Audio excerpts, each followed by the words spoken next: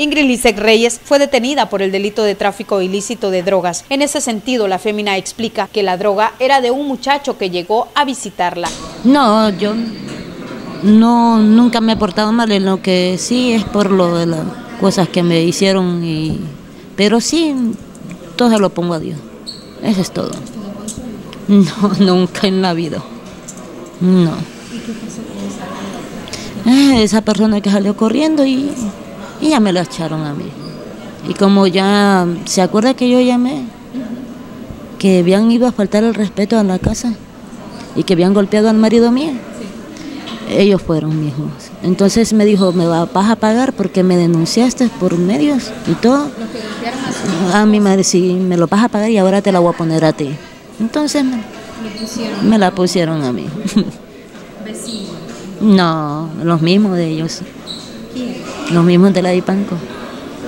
Del muchacho, esa, esa droga era de un muchacho de que, eh, ¿cómo le Él no vive allí, pero él me llegó a visitar, pero nadie sabe lo que, lo que anda que a otra persona. Usted bien sabe de que si vaya a suponer, yo la visité a usted y usted no sabe lo que yo llevo adentro. Entonces, y que de repente lleguen los de la y, y yo venga y yo salga corriendo y en el monte yo tire lo que llevo y ya que vengan los de la IPAN le digan que a usted lo van a echar, entonces eso no es posible, ¿me entiende? Lo que no uno, como le dije yo, el que nada debe, nada teme.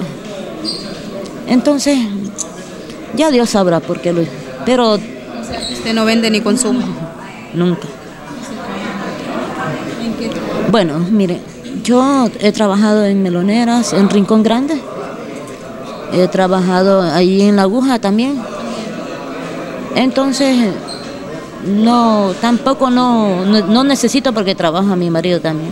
A la audiencia se hizo presente la mamá de la fémina, quien dijo que ella nunca ha sido un mal ejemplo para sus hijos. Yo ya le he aconsejado ya. Usted lo que uno, lo primero que tiene que hacer uno es aconsejar a sus hijos, ¿verdad? Mire, yo como le digo yo a ella, y fíjate que yo de, a mis años que tengo, 65 años, nunca había ido a poner un pie a un presidio. Nunca en mi vida ni conocía tan siquiera una, la puerta de un presidio. ¿Mm? Entonces, mm, pero no, ahorita todo va bien, gracias a Dios.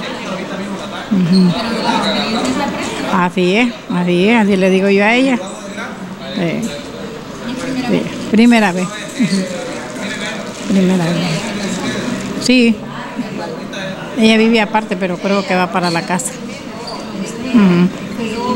responsable. sí. ¿Eso se la da? Sí, tiene que ser responsable porque son cuatro niños los que tiene. Sí, cuatro niños.